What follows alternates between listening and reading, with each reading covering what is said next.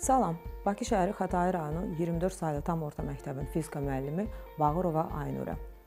Üzüyün almaz qaşına diqqətlə baxdıqda onun cilalanmış çoxsətli quruluşa malik olduğunu müşahidə etmək olar. Nə üçün zərgər əşyalarında almaz qaşlar çoxsətli və cilalanmış hazırlanır? Müasir təbabətdə isə insanın daxili orqanlarını, məsələn, qida borusunun daxili divarını cərrahi müdaxilə olmadan müayinə etmək üçün işıqötürən adlanan nazik elastik borudan istifadə olunur. Belə borunun bir ucuna işıq şüası yönəltdikdə, o biri borunun digər ucundan çıxaraq müayinə olunan yeri işıqlandırır. İşıq ötürəndə işığın hansı hadisəsi baş verir? Bu dərsdə biz işıqla bağlı maraqlı hadisə olan işığın tam daxili qayıtma hadisəsindən danışacağıq. Siz artıq bilirsiniz ki, işıq şüası sındırma əmsalı böyük olan mühitdən sındırma əmsalı kiçik olan mühitə sərhəddinə düşdükdə, məsələn, su hava səthinə sınan şüa perpendikulyardan uzaqlaşır. Sınma bucağı düşmə bucağından böyük olur. Əgər işıq şüasının düşmə bucağı artarsa, sınma bucağı necə dəyişər? Araşdırmalardan müəyyən olunub ki, düşmə bucağı artdıqca işığın şüasının sınma bucağı da artır. 2, 3, 4 hallarında bu aydın görünür. Düşmə bucağının müəyyən qiymətində işıq şüası ikinci mühitə, havaya keçmir. Sınma bucağı 90 dərəcə olur. Şua su-hava sərhəddi boyunca yayılır. Bu 5 halına uyğundur. Düşmə bucağının sonrakı artımında isə su-hava sərhəddinə düşən işığın sınması baş vermir. Şua bütünlüklə suyun daxili səthindən əks olunur. İşığın tam daxili qayıtma hadisəsi baş verir. 6-7 halları bu hadisəni göstərir. 90 dərəcəlik sınma bucağına uyğun gələn alfa 0 düşmə bucağı tam daxili qayıtmanın limit bucağı adlanır.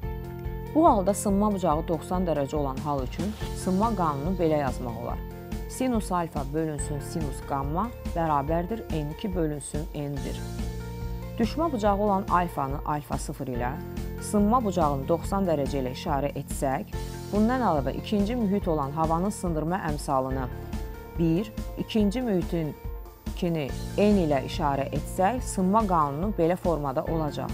Sinus alfa 0 bölünsün sinus 90 dərəcə bərabərdir n2 bölünsün n1 bərabərdir 1 bölünsün n. Sinus 90 dərəcə bərabərdir 1 olduğundan sinus alfa 0 bərabərdir 1 böl n ifadəsi alınır. Hər mühit cütü üçün, məsələn, şüşə hava, almaz şüşə və s. tam daxili qayıtmanın limit bucağı vardır. Təcrübələrdə müəyyən edilmişdir ki, işıq şüasının şüşə hava sərhəddində limit bucağı alfa təqribən 49 dərəcədir. Bu o deməkdir ki, işıq şüasının şüşə hava sərhəddinə düşmə bucağı təqribən 49 dərəcədən böyük olduqda şüşədə tam daxili qayıtma hadisəsi baş verəcəkdir. Şua ikinci mühitə keçmədən birinci mühitə tam qayıdacaq. İşığın tam daxili qayıtma hadisəsindən müxtəlif optik cihazlarda, zərgərlik işlərində geniş istifadə olunur. Binoklın əsas hissələrindən olan şüşə prizma üzərinə düşən işıq tam daxili qayıtma nəticəsində demək olar ki, tamamilə əks olunaraq istiqamətini dəyişir. İşığı uzaq məsafələrə, çətin keçilən yerləri ötürmək üçün işıqötürən adlanan optik cihazdan istifadə edilir. İşıqötürən çox kiçik diametrli, şəffaf lif və ya elastik boru olub, xaricdən optik sıxlığı az olan maddə ilə örtülür. Belə liflərdə işıq dəfələrlə tam daxili qayıtmaya məruz qalır. Müasir təbabətdə insanın daxili orqanlarını, məsələn, qida borusunun daxili divarını cərrahi müdaxilə olmadan müayinə etmək üçün işıqötürən adlanan nazik elastik borudan istifadə olunur. Belə borunun bir ucuna işıq şüası yönəltdikdə O, borunun digər ucundan çıxaraq müayinə olunan yeri işıqlandırır. Zərgərlikdə tam daxili qayıtma.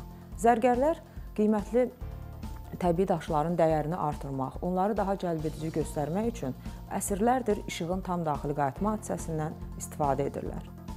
İnsanlar adətən qiymətli daşlara parlaq işıq altında baxırlar. Bu zaman işıq mənbəyinin hansı tərəfdə olmasından asılı olmayaraq daşın bəzi üzvlərinin daxili səthləri səthlərinə düşən şüaları güzgü kimi əks etdirərək daşda bərq vurma effekti yaradır. Daşı çevirdikdə daxili güzgü rolunu onun digər üzü oynayacaqdır. Bu səbəbdən də brilliant adlandırılan almaz qaş işıq şüasının düşmə istiqamətindən asılı olmayaraq bərk vurur. Beləliklə biz bu dərsdə işığın tam daxili qayıtma hadisəsindən danışdıq. Dərsimiz sona çatdı. Sağ olun.